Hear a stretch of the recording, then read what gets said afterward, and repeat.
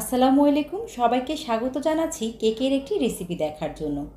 আজকে তৈরি করে দেখাবো অ্যাপেল কেক যারা ফ্রুট কেক পছন্দ করেন, আশা করছি তাদের কাছে আজকের অ্যাপেল কেকের রেসিপিও ভালো লাগবে। চলুন তাহলে শুরু করি। অ্যাপেল কেক তৈরি করার জন্য এখানে একটি মিক্সিং বলে নিয়ে নিচ্ছি দুইটা ডিম। ডিমটা যদি ফ্রিজে থাকে, তাহলে কেকটা তৈরি করার পনেরো থেকে বিশ মিনিট আগে ফ্রিজ থেকে নামিয়ে রাখবেন। এখন একটা ইলেকট্রিক বিটার দিয়ে ডিমটাকে খুব ভালোভাবে বিট করে নিতে হবে। যাদের কাছে ইলেকট্রিক বিটার নেই, তারা চাইলে হ্যান্ড উইক্স অথবা কাঁটা চামচ দিয়েও বিট করে নিতে পারেন। ডিমটা বিট করতে করতে এখানে আমি চিনি মিশিয়ে নিব আধা কাপ। কেউ চাইলে চিনির পরিমাণটা বাড়িয়ে অথবা কমিয়ে নিতে পারেন। চিনির দানাটা সম্পূর্ণভাবে গলে যাওয়া পর্যন্ত বিট করে নিতে হবে।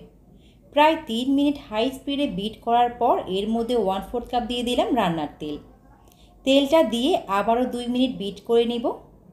দুই মিনিট বিট করার পর যখন এটা ক্রিমি হয়ে আসবে, এবারে বাটির উপর একটা স্ট্রেনার দিয়ে এর মধ্যে কিছু শুকনো উপকরণ নিয়ে নিব।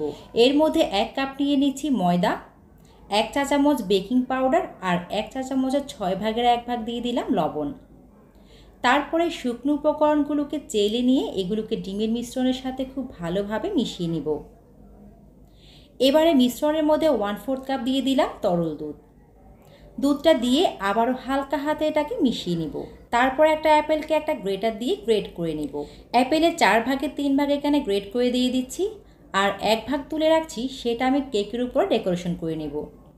আবারও কেকের বেটারের সাথে গ্রেট করে নেওয়া অ্যাপেলটাকে মিশিয়ে নিব। কেকের মিশ্রণটা রেডি হয়ে গেছে। এবার আমি এটাকে একটা হিটপ্রুফ বাটিতে সেট করে নিব। এজন্য বাটির সাইজের আমি একটি কাগজ কেটে নিয়েছি। প্রথমে পুরো বাটিতে কিছুটা তেল ব্রাশ করে নেব। তারপর কাগজের উপরেও কিছুটা তেল লাগিয়ে নেব।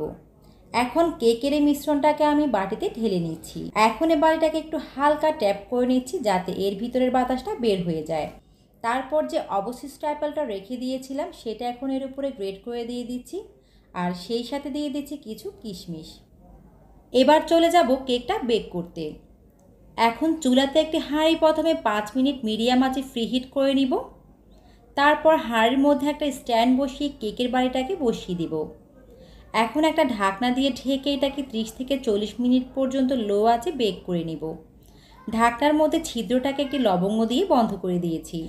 প্রায় চল্লিশ মিনিট পর একটা কাঠি দিয়ে চেক করে নিয়েছি কেকটা হয়েছে কি না কাঠিটা একদম ক্লিন বের হয়েছে, অর্থাৎ কেকটা হয়ে গিয়েছে। তারপর ঠান্ডা হওয়ার পর কেকটাকে মোল্ড আউট করে নিব। আর কেকের মধ্যে যে কাগজটা দিয়েছিলাম সেটা এখন তুলে নিচ্ছি। এখন আমি আপনাদের সাথে কেকটা কেটে শেয়ার করছি, এটা কতটা সুন্দর হয়েছে। আমার কাছে অ্যাপেল কেকটি খেতে অনেক ভালো লেগেছে। এভাবে বাসায় তৈরি করে দেখবেন আপনাদেরও অনেক ভালো লাগবে। আজকের রেসিপি তাহলে এই পর্যন্ত। সবাই অনেক বেশি ভালো থাকবেন, সুন্দর ও সুস্থ থাকবেন। আল্লাহ হাফিজ।